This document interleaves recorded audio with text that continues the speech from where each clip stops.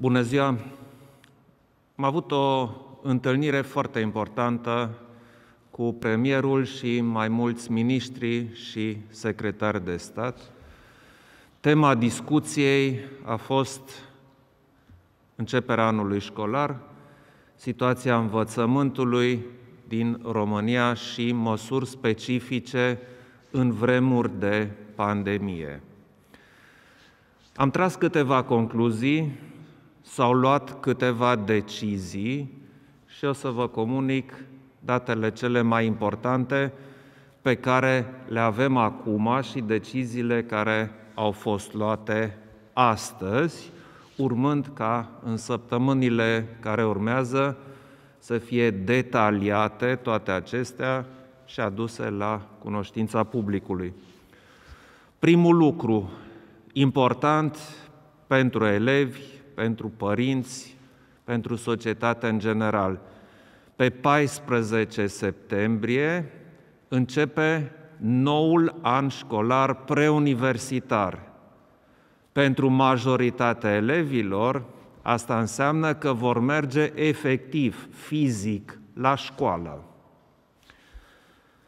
Pentru a ține cont de impactul pandemiei în fiecare școală, în fiecare localitate, au fost elaborate trei scenarii în funcție de numărul de bolnavi din localitate.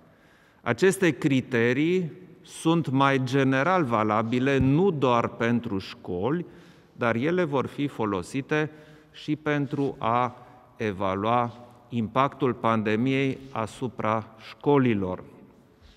Aceste trei scenarii sunt scenariul verde, care înseamnă că în localitatea respectivă e mai puțin de o persoană în medie în ultimele 14 zile detectată cu COVID-19. Scenariul 2, care înseamnă scenariul galben, între 1 și 3 persoane detectate în medie zilnică în ultimele 14 zile și scenariul 3, când în media ultimelor zile au apărut mai mult de 3 bolnavi noi în localitatea respectivă. Aceste scenarii se folosesc pentru a descrie ce se întâmplă în școală. Foarte important și vă rog să rețineți această chestiune. Felul în care va funcționa fiecare unitate școlară va fi decis local. Deci decizia se descentralizează la nivel de județ. Și în funcție de situația concretă, locală, se va decide dacă unitatea școlară va funcționa după scenariul 1 verde, cu risc mic sau deloc, după scenariul 2 galben cu risc mediu, sau după scenariul 3, numit roșu, care înseamnă că școala se închide de tot. În consecință, pentru fiecare școală în parte, Comandamentul Județean pentru Situații de Urgență va lua decizia dacă se merge pe scenariul verde, asta însemnând toți elevii merg fizic la școală, se țin cursuri normale.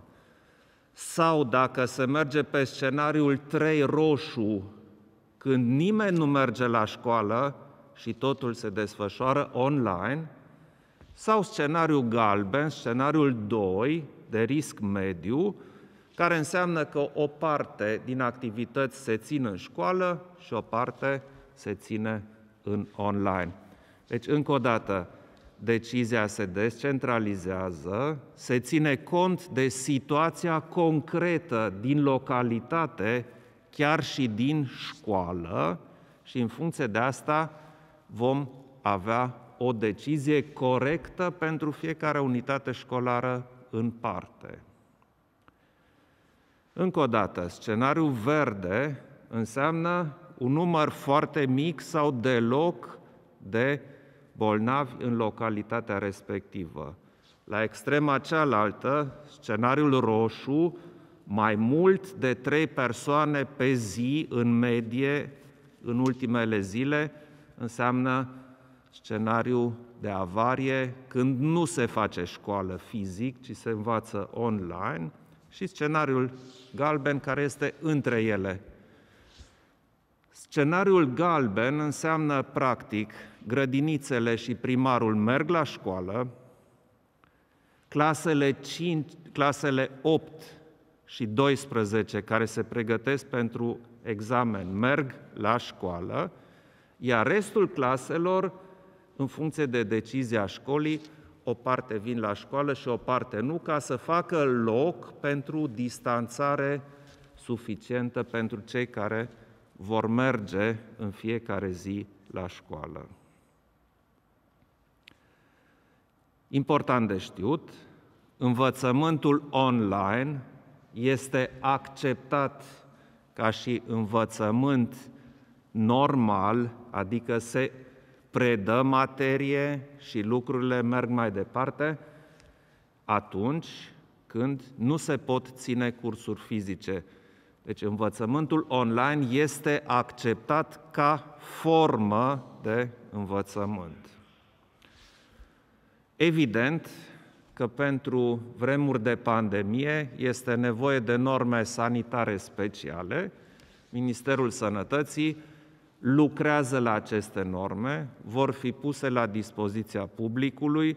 Ele implică norma de distanțare, norma de igienă, norma de dezinfecție și multe alte lucruri care vor fi făcute publice în zilele următoare. Vă rog să rețineți aspectele cele mai importante. Anul școlar începe un preuniversitar pe 14 septembrie, majoritatea copiilor vor merge efectiv la școală, punem accent pe învățământ de calitate, pe siguranța și sănătatea elevilor și învățământul online vine să completeze învățământul acolo unde nu se pot ține cursuri fizic. Decizia dacă elevii merg la școală sau învață online, se ia pentru fiecare școală în parte la nivel de județ, sigur la propunerea școlii, a inspectoratului școlar și în final se decide împreună cu ceilalți factori din comandamentul județean. Acestea sunt lucrurile care sunt foarte clare acum. Restul se va clarifica în diferite formate interministeriale în zilele următoare și vor fi făcute publice toate aceste date. Dacă dumneavoastră aveți întrebări, poftiți. Bună ziua, Robert Chiș, Digi24.ro. Domnule președinte, ca să fie uh, clar, vorbim, nu vorbim de uh, cazuri la mii de locuitori. Și aici vă întreb pentru că, de exemplu, în București, uh, medie pe zi, în ultimele 14 zile, cu siguranță uh, ne încadrăm în scenariu roșu și, uh, în principiu, orașele mai mari uh, ajung să aibă mai multe cazuri, astfel încât uh, să fie încadrate în acest scenariu în care școala probabil va fi făcută online. Bucureștiul se încadrează în scenariul verde, fiindcă și dacă este un număr relativ mai mare de cazuri, la o populație foarte mare a Bucureștiului, după acest criteriu uh, acceptat de Organizația Mondială a Sănătății, de Ministerul Sănătății, Bucureștiul intră în categoria verde. Ca să fim foarte bine înțeleși, majoritatea localităților din România intră pe scenariul verde. Foarte puține sau zero cazuri. Un număr de câteva sute de localități. La momentul acesta, când vorbim, încă o dată, măsurătoarea se va face atunci când e să înceapă școala. Deci, la momentul acesta, ca și exemplu, sunt câteva sute de localități din România care intră în scenariul galben și sunt numai 50 de localități în România care astăzi s-ar încadra în scenariul roșu. De asta am spus, școala va începe pentru majoritatea elevilor. Iar dacă într-o localitate numărul de cazuri crește, atunci școala se închide pentru acea localitate sau pentru acel cartier. Nu se poate face o închidere per ansamblu, fiindcă nu este motivată epidemiologic. Deci cazuri noi la mii de locuitori. Asta era întrebarea. Este vorba de cazuri noi din media ultimelor 14 zile per mii de locuitori. Iosif Buble, știri pe surse.ro. Domnule președinte, am văzut că ați explicat cazurile astea. Aș vrea să știu de unde e un model pur românesc pe care l-ați uh, făcut împreună cu cei de la Ministerul Educației și celelalte autorități și apoi cât de des se vor face aceste analize, pentru că s-ar putea să fie foarte multe abuzuri, dat fiind faptul că e foarte descentralizat.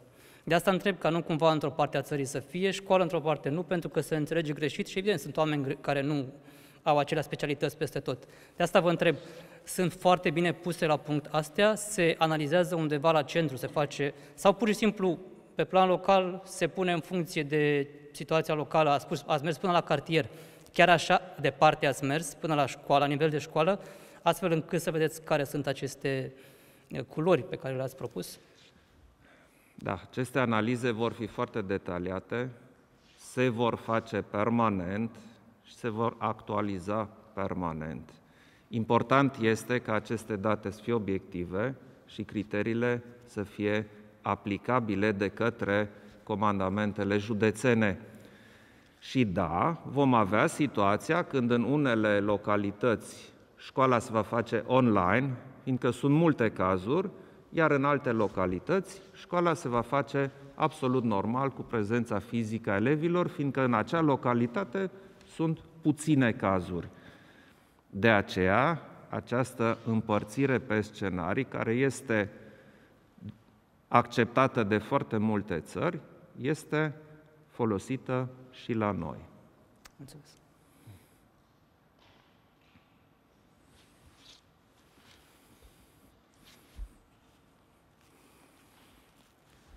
Bună seara, am Ioara Costin, Realitatea Plus. Domnule președinte, am avut și astăzi peste 1300 de infectări, iar în ultimele două săptămâni am avut o medie de 1000 de cazuri uh, zilnic. Se întâmplă acest lucru și pentru că o parte dintre cetățenii României nu respectă regulile impuse de autorități, fie că vorbim de purtatul corect al măștii, de purtatul măștii sau respectarea distanțării sociale. Prin urmare, cu acordul domniei voastre v-aș ruga să faceți un exercițiu și să vă imaginați că aveți în față un cetățean care nu respectă aceste reguli intenționat sau nu. Ce le transmiteți cetățenilor care neglijează aceste reguli?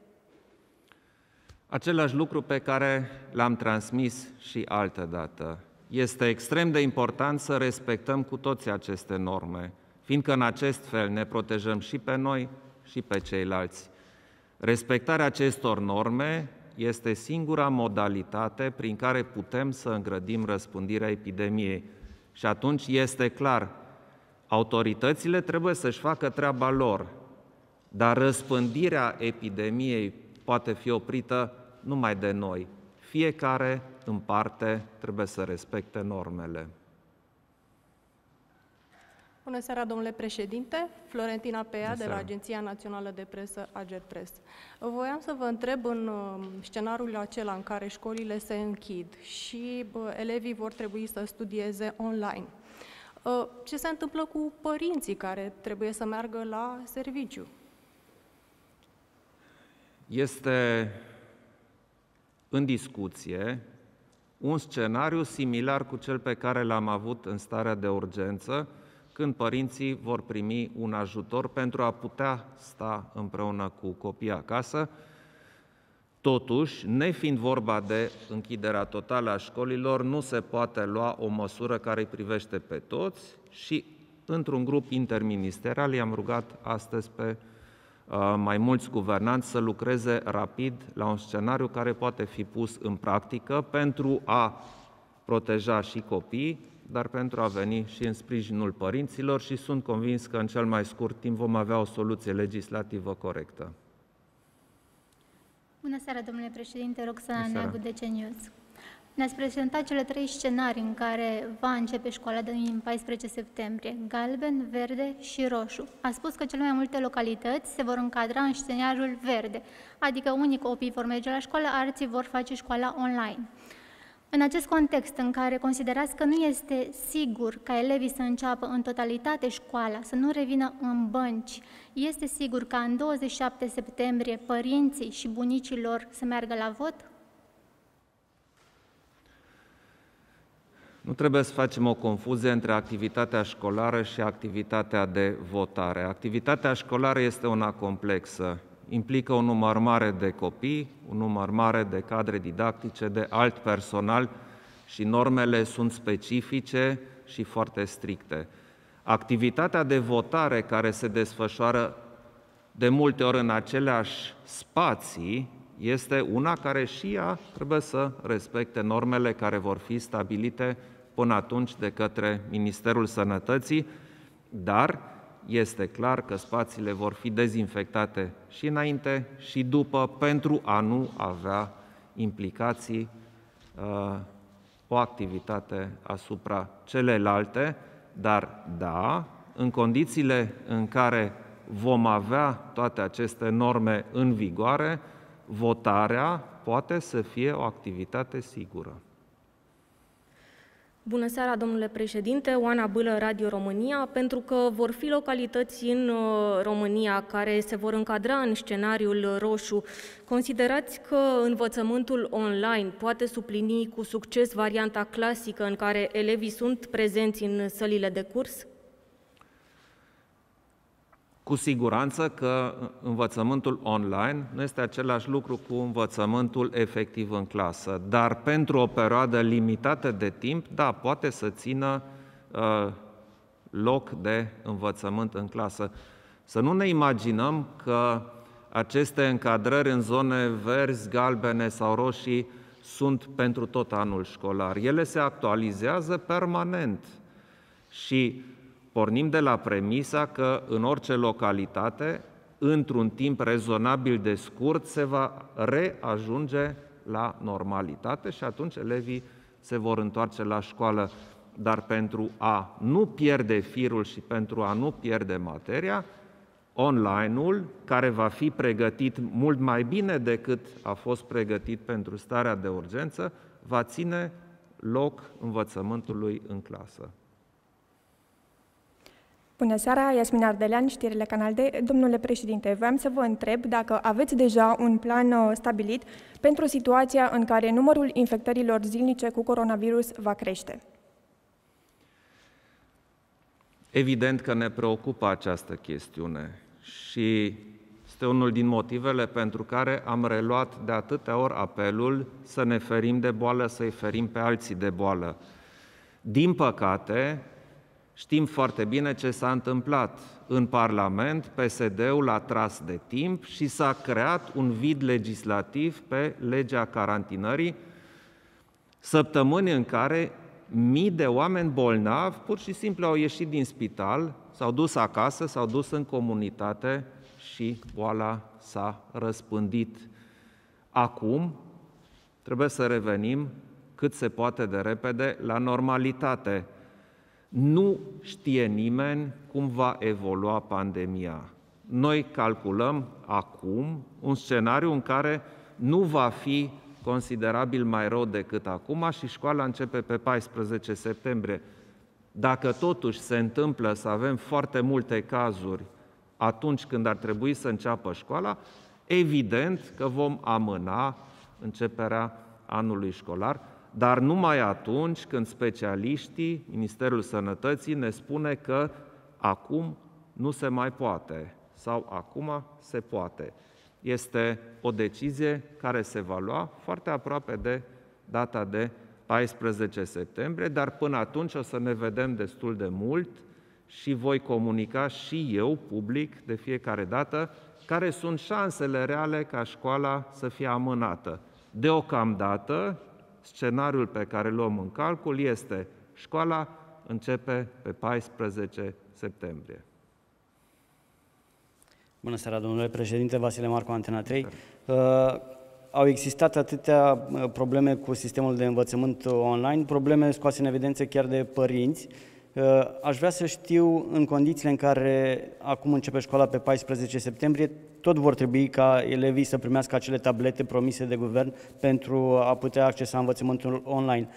Ce se întâmplă cu sutele de mii de copii care nu au acces în momentul de față la, nici la internet, nici la un sistem uh, online, tabletă, telefon mobil, mai ales în zonele izolate ale țării și e foarte scurt timpul pentru a putea împărți aceste tablete.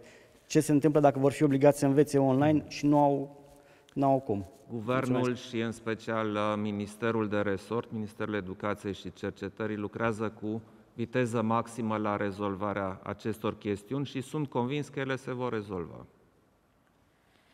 Bună ziua, Alexandra Popescu, Antena 1 Observator. Domnule președinte, în cazul uh, unui scenariu roșu în care elevii ar trebui să învețe de acasă, pe tablete, așa cum spunea și colegul meu, cine îi va învăța pe acei elevi care nu știu să umble pe o tabletă, cine îi va învăța să lucreze, să învețe de pe acea tabletă?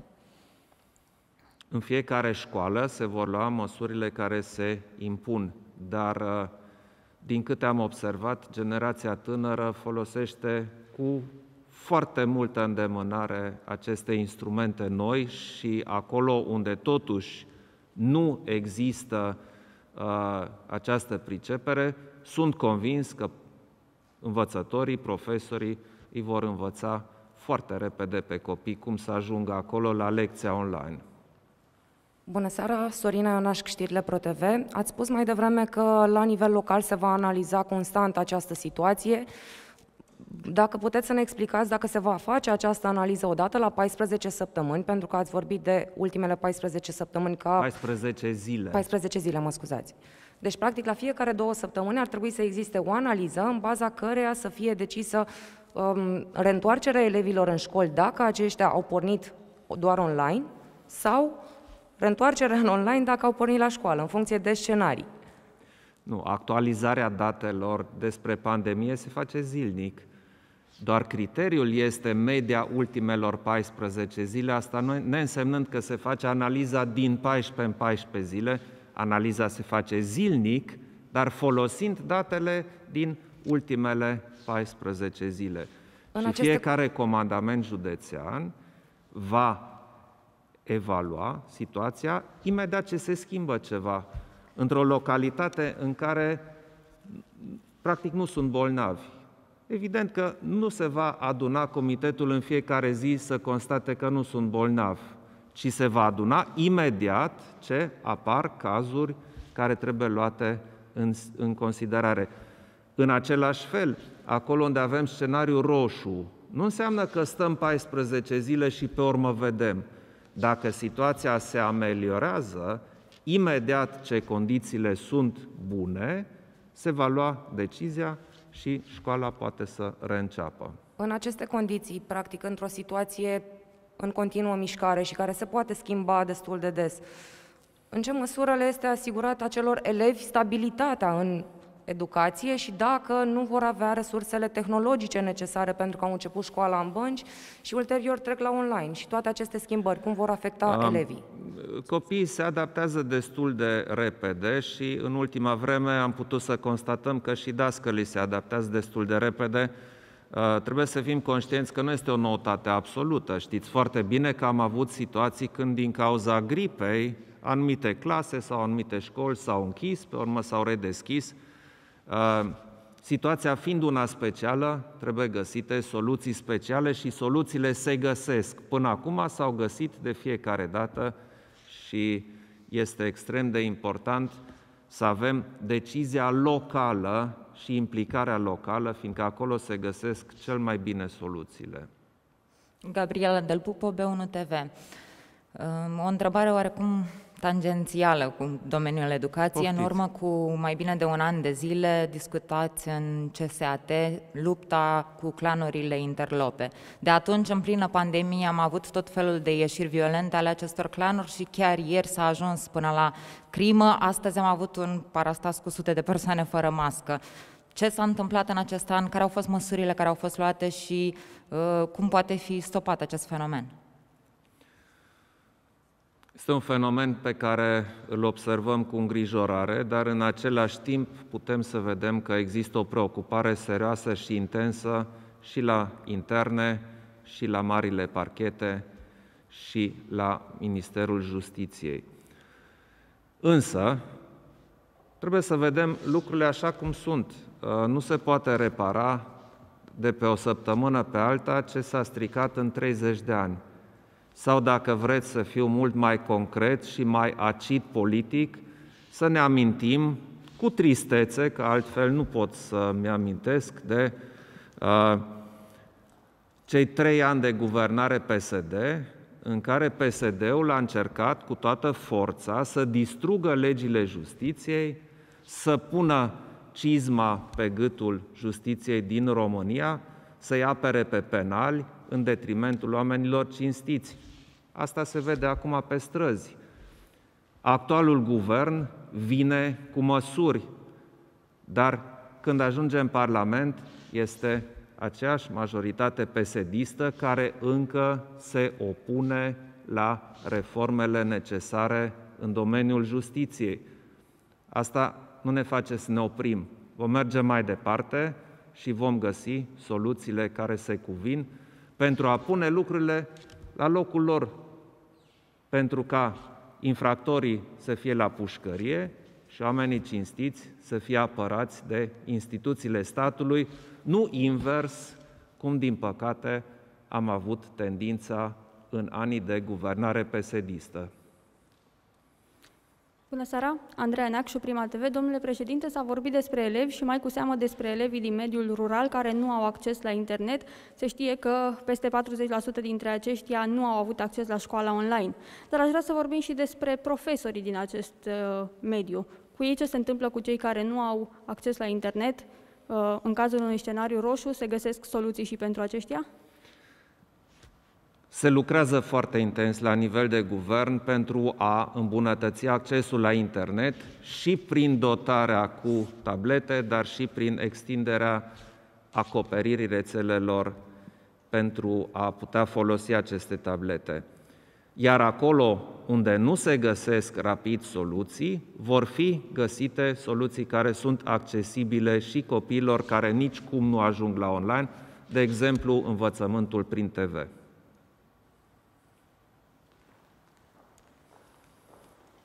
Bună seara, domnule președinte, Gelina Vatcovici, România TV. Pentru că și profesorii vor reveni la școală, mulți se întreabă dacă vor mai beneficia de majorarea garantată în baza legii salarizării, respectiv ca veniturile lor să ajungă la nivelul din 2022, uh, chiar de la 1 septembrie. Aveți în vedere o discuție referitor la această temă? Pot profesorii sta liniștiți din acest punct de vedere? Vă mulțumesc! Această discuție va trebui purtată la nivel de guvern acum când se pregătește rectificarea bugetară și sunt convins că guvernanții vor veni cât se poate de repede cu un răspuns. Bună seara, Raluca Pantazie, dupedu.ro. Suntem cu doar o lună înainte de începerea școlii și după cinci luni de pauză forțată. În momentul acesta nu avem gata tabletele pentru elevi, manualele pentru copiii care intră clasa a 8 biblioteca școlară virtuală, programă școlară ajustată astfel încât profesorii să știe ce anume predau, iar din cele 240.000 de cadre didactice sunt în acest moment formate să predea digital doar 20.000 programul After School generalizat promis de guvernul Orban la începutul mandatului, lipsește și el, deși vedem cât de mare ajutor ar fi fost el pentru școala online acum, prin preluarea copiilor pe grupe. În lumina celor prezentate, cum evaluați prestația guvernului pe acest segment, pregătirile pentru începerea școlii și ce ar trebui schimbat, dacă ar trebui schimbat ceva? Vedeți, exact din aceste motive am convocat marea ședință de astăzi, care a fost o ședință cu foarte mulți participanți, fiindcă și eu vreau să mă asigur că se vor rezolva cât se poate de multe din problemele pe care le-ați enunțat și dumneavoastră. Pe mine mă interesează foarte mult cum începe școala, cum sunt asigurate resursele, cum sunt pregătite cadrele didactice, și da, în multe domenii s-au făcut progrese remarcabile. În alte domenii încă mai este foarte mult de lucru. Dar cred că și prin întâlnirea de astăzi, când am armonizat destul de multe puncte de vedere, am contribuit ca începerea anului școlar să se facă în condiții cât se poate de bune. Dar concret, schimbați ceva la formarea cadrelor didactice? Am văzut toți în acele cinci luni că asta este problema uriașă. Se pregătesc, form, se pregătesc formate pentru platforme online, se pregătesc uh, stagii de pregătire online pentru cadrele didactice în ultima parte a verii și sunt convins că o bună parte din aceste lucruri se vor pune în practică. Bună seara, Ramona Avramescu, Televiziunea Seara. Română. Uh, domnule președinte, măsurile de distanțare care vor fi anunțate, spuneați, de Ministerul Sănătății, vor presupune probabil în majoritatea școlilor nevoia de spații suplimentare și poate de uh, personal didactic suplimentar acolo unde va fi nevoie să se lucreze în ture. Există uh, în acest moment un număr suficient de profesori și de învățători ca să asigure respectarea acestor măsuri și dacă nu, cum va fi rezolvat acest deficit? Se vor face angajări în sistem, se vor plăti suplimentar profesorii care vor lucra mai mult? Aceste chestiuni au fost discutate astăzi. Multe din aceste probleme trebuie rezolvate în plan local. Cei din școală direcțiunea Consiliului de Administrație vor trebui să ia măsuri pentru a respecta distanțarea, pentru a redistribui, poate, clasele în săli care alte date n-au fost folosite permanent și așa mai departe.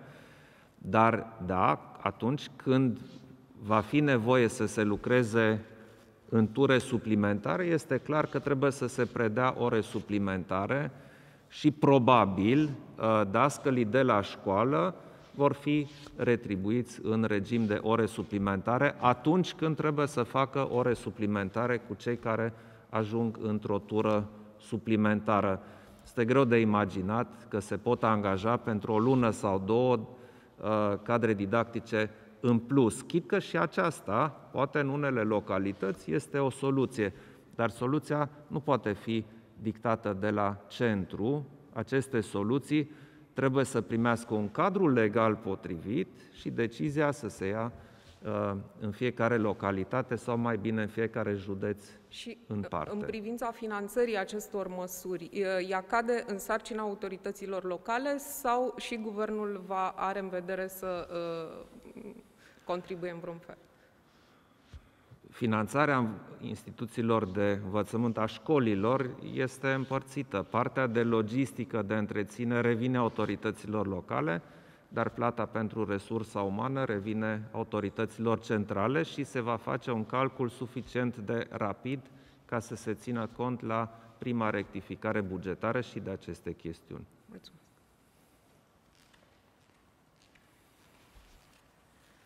Bună ziua, domnule președinte, Loredana Dia, cu publicația Epoch Times. Cu permisiunea dumneavoastră aș vrea să redeschid un uh, subiect de mare interes pentru opinia publică, 10 august, mai ales că se apropie data de 10 uh, august. Precum uh, bine știți, clasarea dosarului a stârnit consternare printre cei care au ieșit în stradă pentru justiție și care s-au văzut asimilați unei culturi definitiv compromise care trebuie întoarse la stadiu de brazdă. Ordonanța de infirmare a clasării parțiale a dosarului arată că instrumentarea a fost defectuoasă, patru martori audiați, uh, materiale video care n-au putut fi vizionate și pe care procurorul nu le-a cerut, Aș vrea să, întrebarea mea se leagă de numirea doamnei Georgiana Hosu, pentru că dânsa a fost șefa ierarhică, ar fi putut să ceară niște rapoarte de activitate. La momentul numirii dânsei, uh, CSM a dat un aviz negativ, societatea civilă și magistrații au tras niște semnale de alarmă. Aș vrea să vă întreb, privind uh, în urmă, considerați că numirea doamnei Georgiana Hosu la șefia DICOT, în ciuda tuturor semnalelor de alarmă care au fost trase, a fost o greșeală?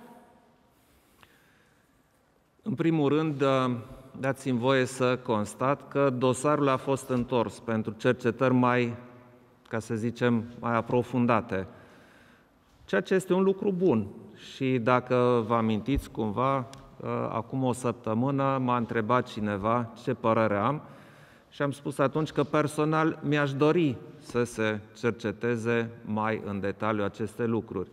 Acum, persoana pe care ați menționat-o a decis retrimiterea dosarului pentru verificări mai amănunțite, ceea ce mi se pare un lucru bun și mai mult la această speță nu am ce să spun.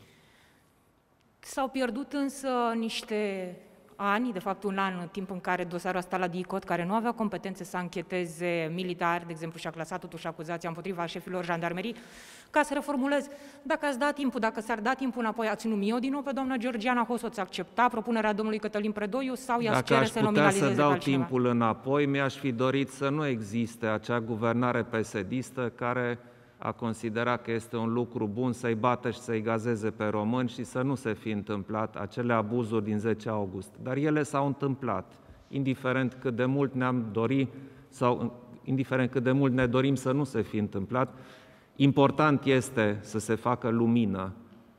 Și dacă durează mai mult, este destul de rău că durează atât de mult, dar important pentru mine este ca adevărații vinovați să fie trași la răspundere și sunt convins că asta se va întâmpla. Am spus-o și data trecută și o spun încă o dată. Am încredere în justiție și sunt convins că cei responsabili vor fi trași la răspundere și până la urmă asta contează. Bună seara, domnule președinte, Andreea Bratu, Digi24. La finalul anului școlar anterior, după două luni de învățământ online, mai mulți elevi, părinți și chiar cadre didactice s-au plâns că această formă nu dă randament și elevii au rămas cu lacune. Aș dori să vă întreb, în calitate de președinte, dar mai ales în calitate de fost profesor, Considerați că prin această modalitate de predare în mediul online, ținând cont și de pregătirea cadrelor didactice pentru această formă, se asigură dreptul constituțional la educație pentru fiecare elev? Ă, răspunsul este clar da. Deci se asigură dreptul la educație, dar dați-mi voie să privim lucrurile în context. Suntem în plină pandemie, deci nu facem aceste chestiuni fiindcă vrem să experimentăm cu copiii noștri. Nu. Facem aceste chestiuni și facem predare online pentru a face față și în condiții de pandemie ca să nu piardă copiii un an școlar sau un semestru. Este evident că e mult de lucru până când predarea online devine foarte performantă, dar învățământul românesc a dovedit că are resurse ca să se perfecționeze și sunt convins că această predare online va fi din ce în ce mai performantă. Este imposibil ca totul să funcționeze impecabil și perfect din prima zi când începi un lucru nou. Cu toții știm, când începi ceva nou, la început merge mai greu, te străduiești, merge mai bine, te perfecționezi, merge mai bine, așa se va întâmpla și cu învățământul online. Mulțumesc! Vă mulțumesc tuturor! Vă doresc o seară bună și dumneavoastră tuturor multă sănătate!